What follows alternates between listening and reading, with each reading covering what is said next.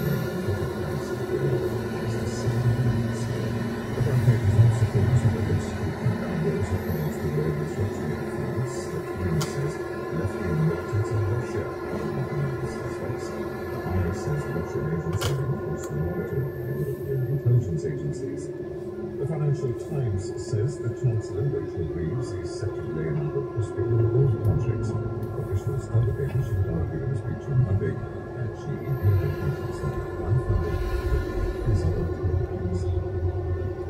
The death has been announced of the Archer's actress Ysanne Churchman, also Grace Archer, who was at the heart of one of the most shocking storylines in Ambridge. She was 99.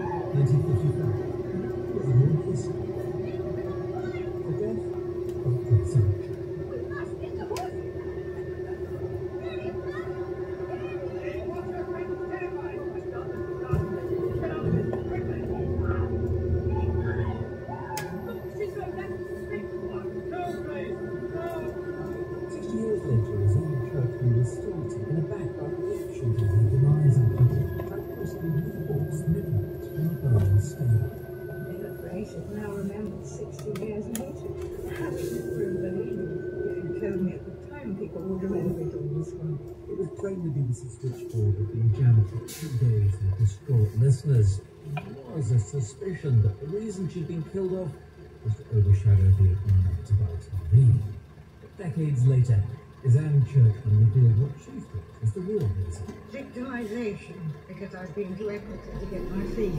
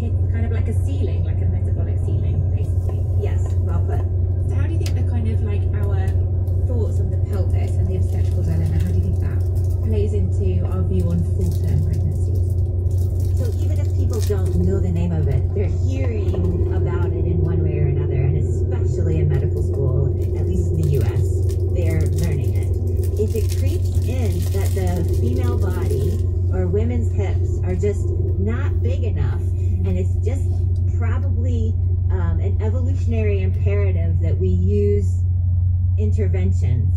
That's just enough to like take a zap some of the power, some of the force that you really need to be to meet the challenge.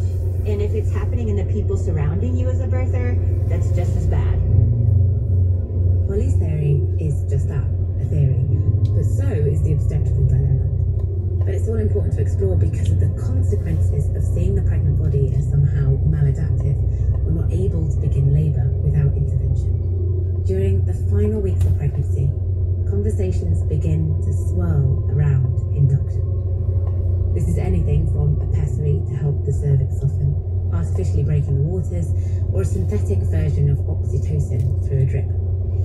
National maternity statistics for 2022 to 2023 showed that 33% of women in the UK had an induced labour, a number that is gently increasing and it's up from 22% in 2012. Induction is all about minimising risk and possibly serious harm to the baby and sometimes the mother. It in itself exists for very good reasons, but it's not risk free. There is evidence of a correlation between induction and assisted birth or a caesarean birth.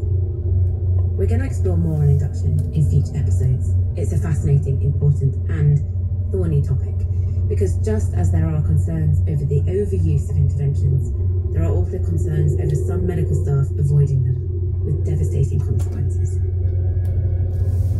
But for now, let's explore the due date itself. How is it calculated in the first place? It's EDD, it's estimated due date, so it's not very precise. This is Asma Khalil talking about the 12 week scan. Asma is a professor of obstetrics and maternal fetal medicine is also vice president at the Royal College of Obstetricians and Gynecologists. She's a specialist in scanning women and babies with complications in pregnancy. So it's also worth saying that as the due date looms, there might be some other dates circling in your head too. Maybe you are pretty sure you know from your cervical fluid and temperature when you ovulated, and therefore the date that you conceived. Then there's also the date that's given to you in the first appointment with your midwife, calculated as 40 weeks from the first day of the last period, as well as the one from the dating scan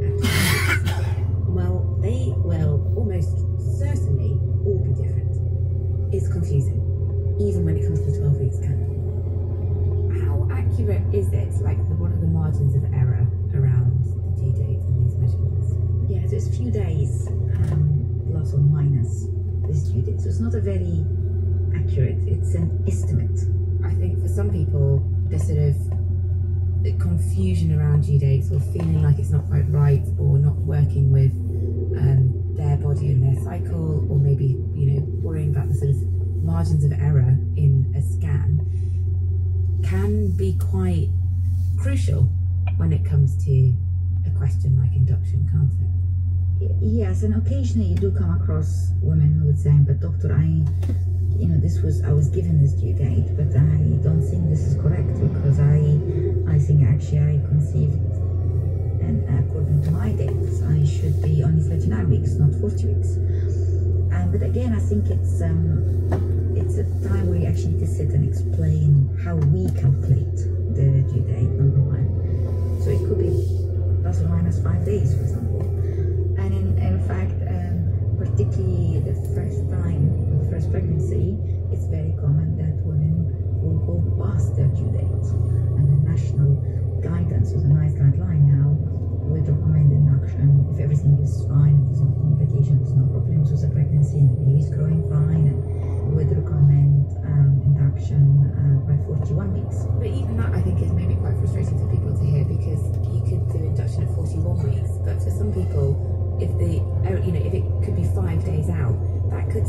still almost be 40 weeks. You know, they could have lost a week of opportunity because of their margin of error in a dating scan. At the end of the day, I I tell the woman, look, it's a, it's a way of being able to speak the same language.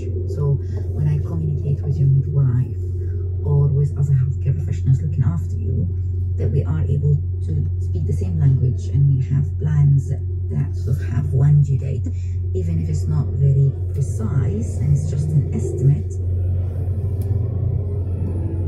worth remembering that only 4% of births actually happen on the date itself. And you might have heard that it varies around the world. So in some countries, your due date will be at 41 weeks, not 40. But often that is to do with the way that it's calculated, rather than different views on gestation length. If you are being offered induction, you can always speak to a consultant and they should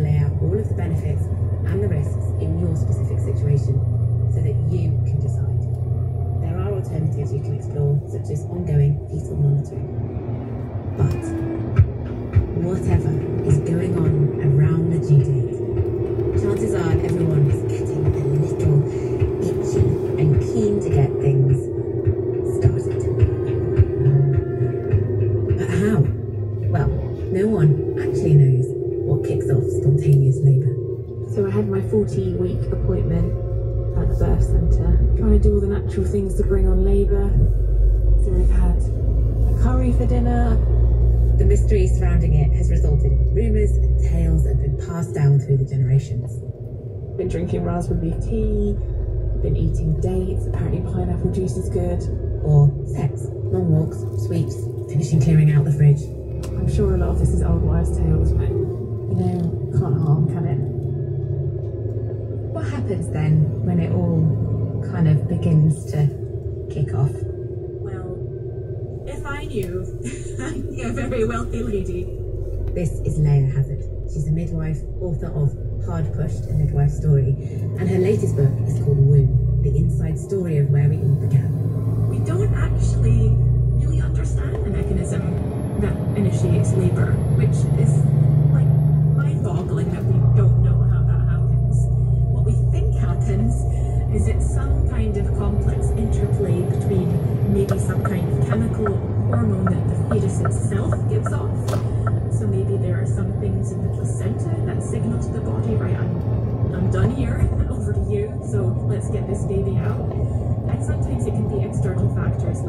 sometimes can initiate um, labor, especially preterm labor or other kinds of illness or trauma. So yeah, the short answer is we can get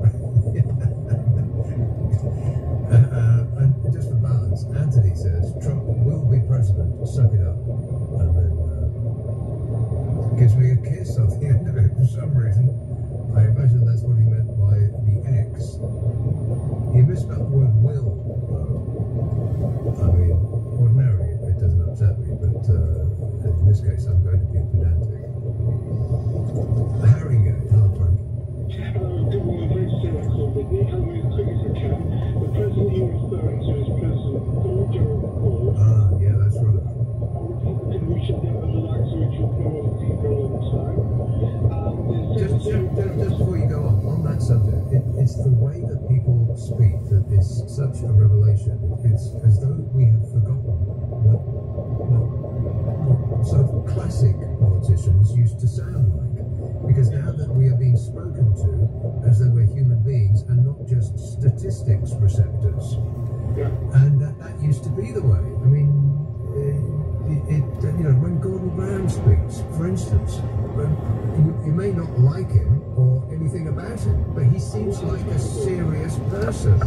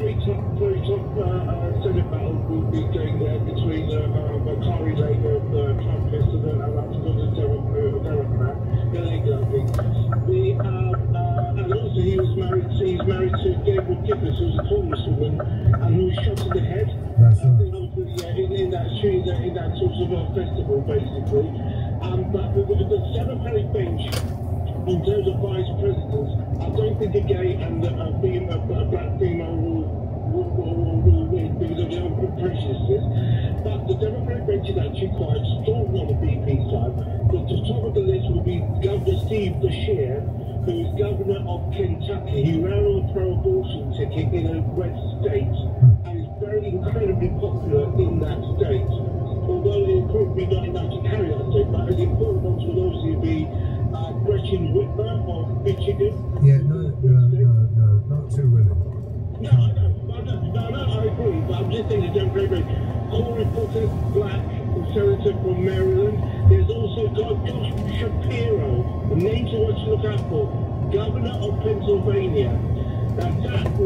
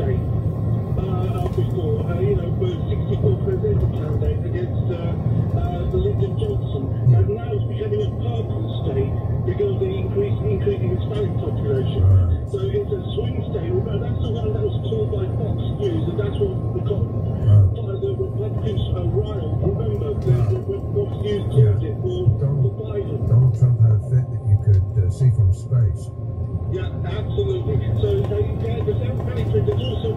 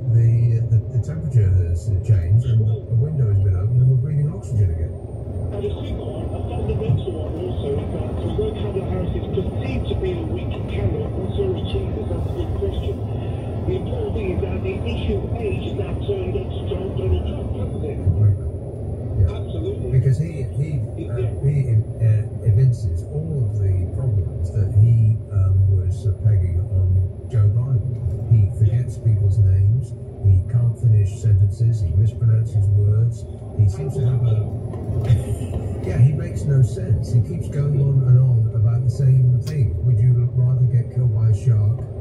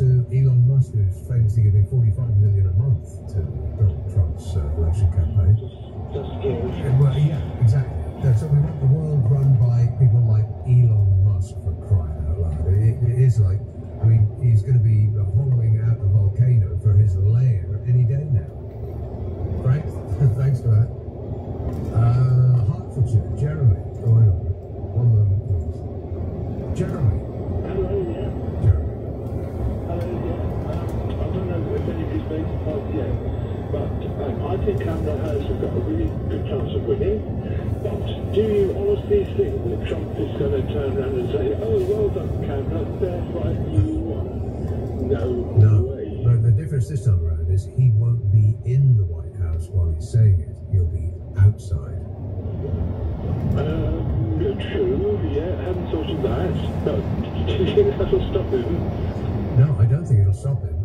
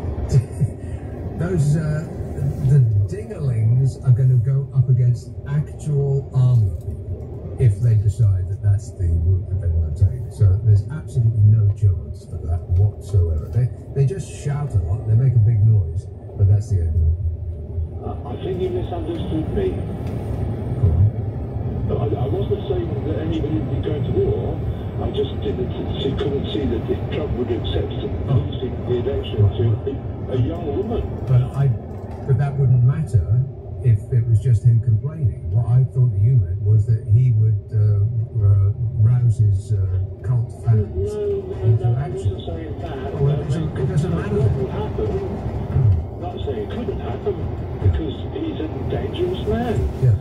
Um, but no, I was simply saying that if Hannah Harris wins, he won't accept it anyway. It doesn't matter. It makes no difference whether he accepts it this time around because he doesn't have the weight of the White House behind him. He'll just be um, he'll just be whining on the outside. I am the most fabulous whiner. I, I, and I'm a whiner, and I keep whining and whining. And he'll be a figure of fun, and people will be laughing at him, which is the thing he hates the most. Thanks for that. Uh, if you missed any part of this uh, super show, then I think you will find that it is Business Matters from the BBC World Service. If you're planning to stay up and fancy some comedy and drama through the night, then Radio 4 Extra is right up your street. So, until the next time we meet, this is Jim Lee at Broadcasting House, wishing you a safe and peaceful night.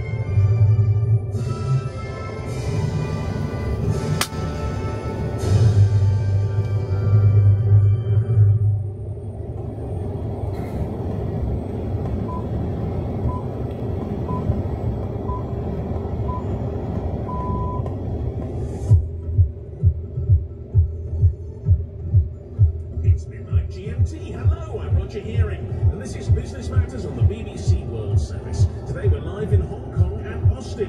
Coming up on the programme, an extraordinary week in US politics. The latest polls suggest little has changed in the support for the candidate of either party ahead of November's vote. Another election this weekend in Venezuela. With an economy wrecked and much of the population having abandoned their homeland, what hope is there of rescuing the country? Also, Argentina's currency grows in strength despite. In the South Pacific, Tonga gives in to the need for satellite internet after an earthquake destroys its cable. And the actors' strike that could cause big problems for the video game industry. That's Business Matters here on the BBC, coming up after the latest BBC News.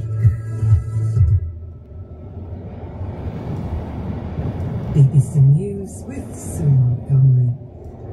Paris Olympics have opened with a grand display of French culture and heritage, and the world's top athletes sailing down the River Seine in heavy rain. Bridges and riverbanks were used as catwalks, stages, and grandstands, as our sports correspondent Patrick Gearey reports. Celine Dion singing halfway up an Eiffel Tower dazzled in lasers and a giant flaming balloon aloft in the night sky. Paris began the Olympics as a spectacular city of light. This was billed as an opening ceremony like no other, held not inside a stadium but along a river. The Seine was the centrepiece, but the event proved more watery than planned. After the President of France, Emmanuel Macron, opened the Games, the climax of the ceremony saw the cauldron lit by judoka Teddy Riner and sprinter Marie-Jose Perec before the flame was lifted into the air. Now the choreography is over, the sport can begin. The first of 329 gold medals will be awarded later this morning. The opening ceremony went ahead without disruption despite the sabotage attacks on the high-speed rail network early on Friday.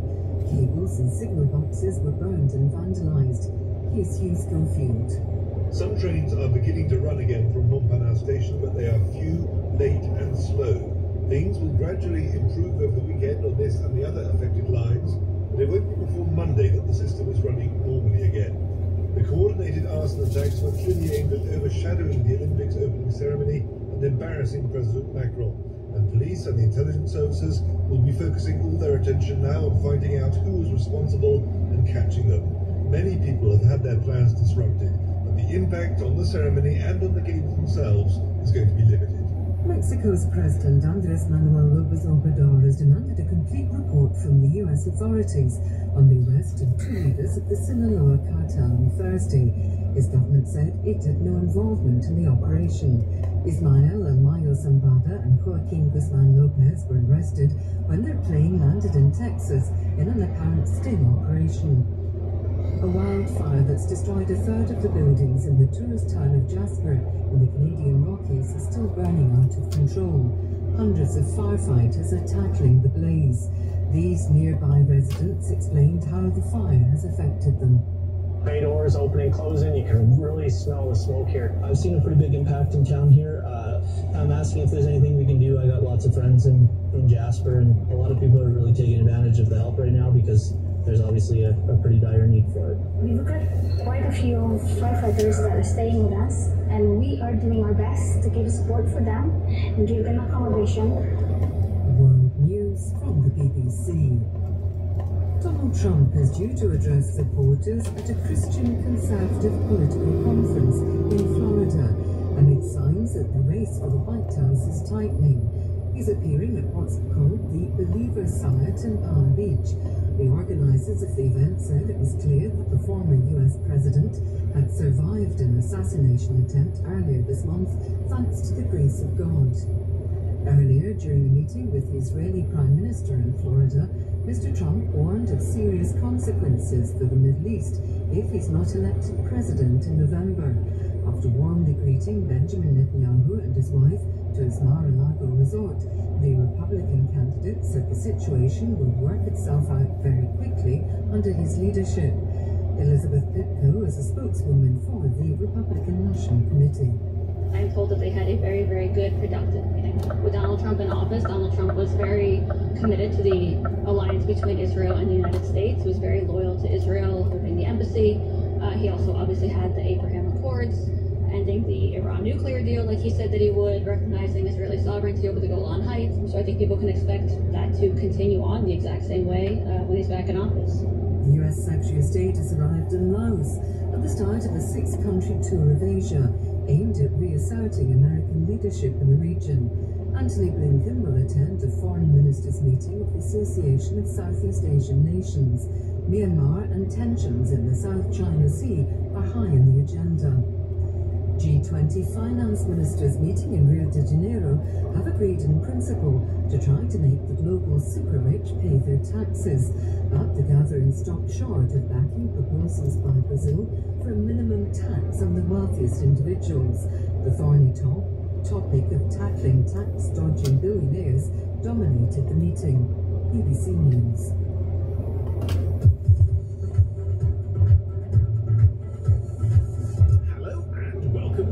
Matters. I'm Roger Hearing. Coming up on the program today, a crazy week in US politics, but where does it leave the contest in November? Also, Venezuela prepares for an election with both the government and opposition claiming that they can rescue a disastrous economy. Argentina's strangely strong currency prompts Argentinians to spend their cash abroad. the pace of inflation is outpacing the current rate at which the government devalues the currency. So that means that the peso has actually become overvalued. In the South Pacific, Tonga lets satellite firm Starlink help people left without internet by an undersea earthquake. And actors strike in Hollywood again. This time, it's about voiceovers in video games. And I'll be joined throughout the program by two guests on opposite sides of the world. Andy Uhler, Energy Journalism Fellow at UT Austin and Columbia University, us from Austin, Texas. Andy, a very good evening to you. Good to have you there. And across the other side of the world, Katia Dmitrieva, who's Asia economics correspondent for Bloomberg, joining us online from Hong Kong. So, Katia, welcome to your first program and a very good morning to you. Good morning from a very uh, humid, very wet Hong Kong this morning. I can sort of imagine that you've had a fair few uh, typhoon type things going on around there. But, Katia, we sort of begin the program getting a sense, really, of just very briefly what's going on in your neck of the woods. So, I mean, uh, what wasn't caught your eye, really, news wise this morning? You know, this week has been really big in DC, as you mentioned.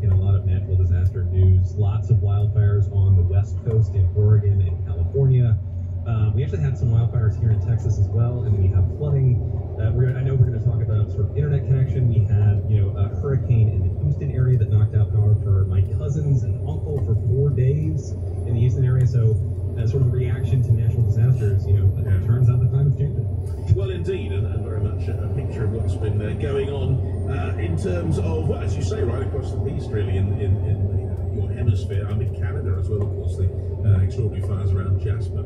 Right, well, let's talk about uh, things that aren't necessarily part of nature, but certainly seem to be part of our politics, or your politics anyway, Andy, because just a week ago, it seems strange to think, Joe Biden was still the Democrat candidate uh, to return to the White House next year, That failing badly, dithering and confused up against a Donald Trump riding a wave of support after surviving an attempted assassination. But now, his Vice President Kamala Harris is set to be the name on the ticket, and Joe Biden is going to see out his last few months as president. Harris has gained donations, millions of dollars worth already, and indeed endorsements from top Democrats, now including former President Obama.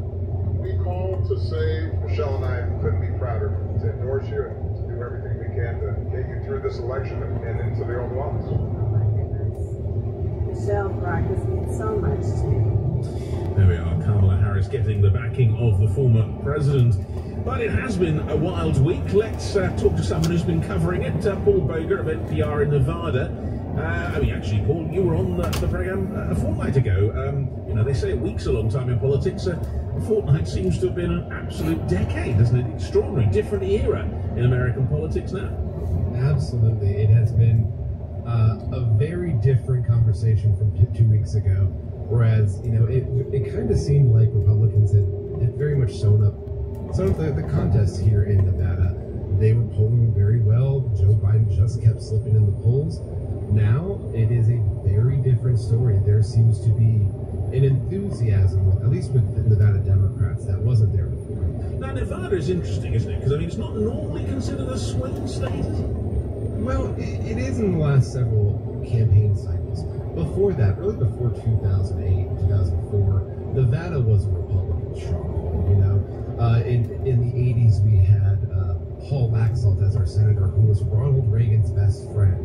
Uh, it, Nevada was seen as a absolute deadlock for Republicans up until about 2004. Then 2008, we elected Obama, and it's been Democratic candidates winning presidential election since then. Now, in state level politics, Republicans do much better.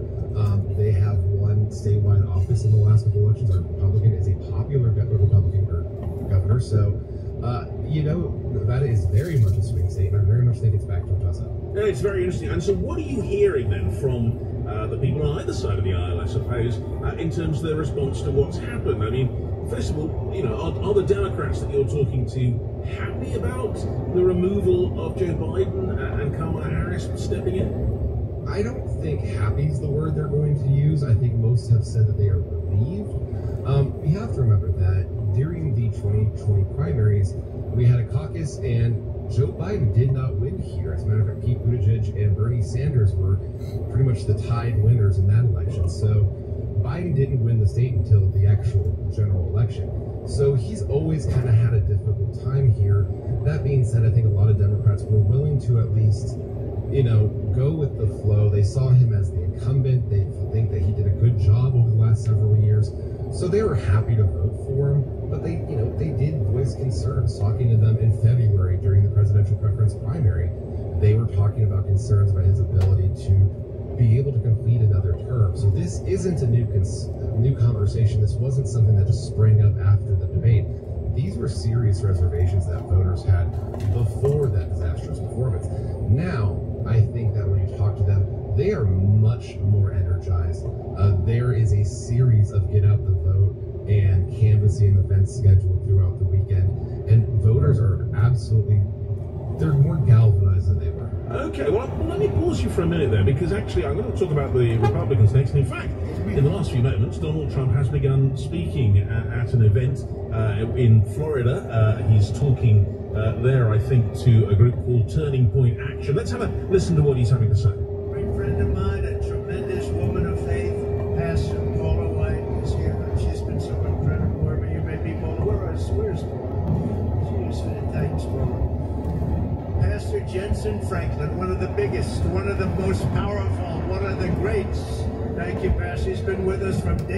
One. Pastor Well, we can, we can hear there that uh, Donald Trump is beginning, in fact, by talking about various dignitaries there. Very interesting people on this. It, it's a religious group that he's talking to. And many people expressed uh, surprise over the years, I mean, dating all the way back to when he first got into the White House, that someone who doesn't seem on the surface to be a particularly attractive figure to evangelicals nonetheless is. I mean, is that a surprising thing? Well, you know, it's it's hard to answer that. Yeah, before the uh, before me living in Nevada, I lived in Mississippi covering during the 2016 campaign as well. And I do think in 2016 that a number of Republican voters in the Deep South saw him as a flawed candidate, but the one that was sane and really at least paying attention to what they were wanting to, wanting to hear. And he's proven popular with that demographic. Uh, You've seen him have success with the Supreme Court. You've seen him have success with federal judges up and down the bench. So I think that it, they're looking forward to another term.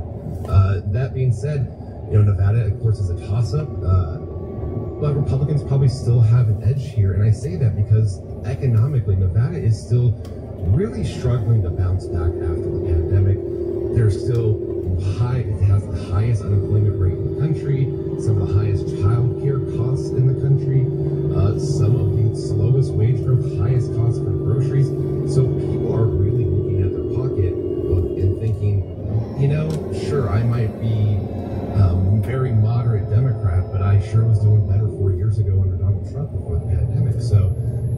very much one of those things where I couldn't tell you where those nonpartisan voters are going to go. Well, it's very, very interesting. Paul, thank you so much. I, I'm sure we'll try and come back to you uh, in the run up to November. It's really interesting to see what's happening in, in a place like Nevada in reaction to everything that's happened. So, Paul, thanks for being with us. Let's uh, let's talk to my guest on this. So, Katia, let me bring you in. I mean, obviously, you're a long way away from this. You're in, in Hong Kong, but you're observing it. I, I, what you said earlier, clearly taking a, keen interest. What are your thoughts about how the contest has changed now that Kamala Harris is on the ticket? Well, you know, everything has changed just in the span of about a week and a half. Um, up until about six months ago, I was in DC and I was covering economic policy, first under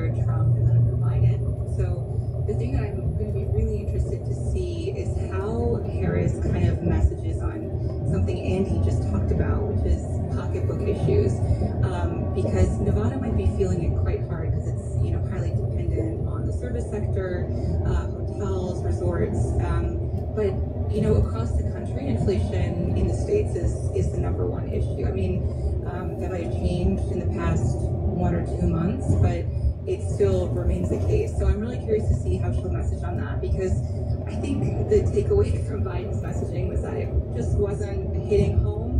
Um, you know, saying that hey, we've actually done a lot for you, and um, I saw one article that uh, called it gaslighting of voters. So things like that. So I'm really curious to see how she messages on that. But go ahead, yeah. Well, I was just going to say, Coach, it's interesting. You're picking out the economic issues in this, and, and, and as you say, Paul certainly pointed to those when he was talking about Nevada. But but but is it also? I mean, one of the big things that seems going from about Joe Biden was just the fact that he wasn't uh, perhaps up to the job in the sense he, he seemed confused, he seemed forgetful. You know, is not that perhaps more important? Do you think than, than, than the money side of it? Yeah, that was that. So in poll, this is a really good point. So in the polls, uh, including our own that we took sort of in the past year or so, you could see the issue of age slowly creeping up. So about a year ago, you would be writing about it or um, talking to his PR people about it, like the White House folks about it, and it's sort of like, oh yeah, he's he's doing okay, but it really became an issue. I think, as you highlighted earlier, just during the debate, it was just very obvious and couldn't really be messaged anymore. Um, I think Harris, what I've been surprised with. I mean, obviously she's much younger. He's a woman of color. She would be, um, you know, the first black female president, which would be which would be huge. I think I've been surprised just by how big her support was. You know, if you look at polls just in the past week, you actually see her narrowing the gap. Yeah, the latest the latest poll, in fact, we had uh, just about an hour or so ago, certainly suggests it's very, very close within the margin of error. I think it was a Reuters uh, poll that came out. Andy, let me bring you in on this. How, how does all this look from Texas? First of all, what do you think about the, the Kamala Harris effect? Yeah, no, it's really interesting, and, and, and Kausi is exactly right. It's sort of pocketbook issues, but at the same time, I think from a voter's perspective, especially from an independent voter's perspective, I think you kind of know what you're going to get from a new candidate being Harris, but being sort of in that same ticket, literally on that same ticket. So you know sort of what the economic policy is going to be. It's probably going to be pretty pro-labor. It's probably going to, you know, embrace unions, things like that. You're going to have Silicon Valley and people like Elon Musk and others sort of leaning toward the Trump administration because they don't want to pay higher taxes, things like that. So I think, honestly, you know, she's trying to bridge um, businesses and sort of big high profile CEOs into understanding where she's coming from. But I think they probably do because I don't think there's going to be a whole lot of diversion from exactly what was happening in the Biden administration. Honestly, I think it's going to be, and that could come back to, to bite this new campaign where it's going to be look, inflation's not great. We haven't had a whole lot of um, relief from uh, pocketbook issues, from going to the store, from going to the gas station and filling up our cars, what are you going to do to make things better? If you're on the same platform, even though people are going to understand where she's coming from. She might have to sell something different, honestly. Yeah, I mean, if we're thinking it might be more about uh, issues like finance, let me just quote what uh, Donald Trump said in this speech that we heard the beginning of just now. He said uh, she, talking about Kamala Harris, was a bum three weeks ago. Um, I, I, I, think the insults are going to keep going, aren't they? Anyway, let's uh, let's move our focus on to another place that has an election coming up, and that is Venezuela, and that's very imminent. In fact, happening on Sunday after more than a decade of political and economic turmoil. Uh, there are great concerns about the fairness and transparency of the vote. In fact, Panama reported earlier that uh, Venezuela banned access to a plane carrying former presidents who are going to try and serve as observers. President Nicolas Maduro has also caused alarm by saying he will win, and I quote, by hook or by crook.